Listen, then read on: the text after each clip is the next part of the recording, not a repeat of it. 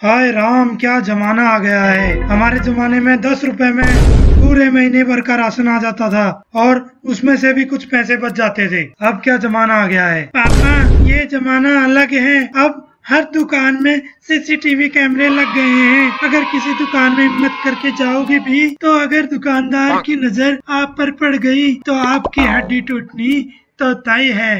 हराम खोर तूने अपने बाप को चोर समझा है। क्या कहने का मतलब है तेरा? पापा, मेरे को ज़्यादा परेशान मत करो, नहीं तो मैं मम्मी को बुला दूँगा। हराम खोर, तुझे पता तेरा बाप कौन है? जली को आग कहते हैं बुझी को राख कहते हैं, जिसकी मिस कॉल देखकर शराबी का भी नशा उतर जाए, उसे तेरा बाप कहते हैं। हाँ हाँ पता है पापा जी, मुझे पता है, तुम्हारी सब हरकतों का मुझे पता है।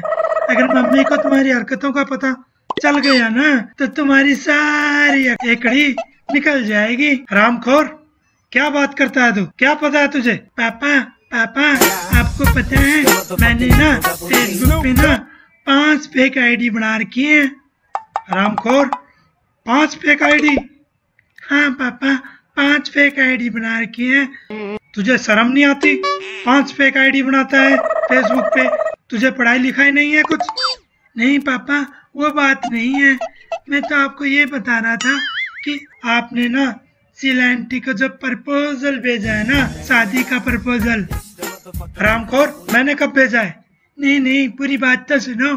हाँ बोल। आपने ना सिलेंटी को जो प्रपोजल भेजा है ना, वो मेरी फेक आईडी है। रामखोर मैं तुझे आज नहीं छोड़ूँगा।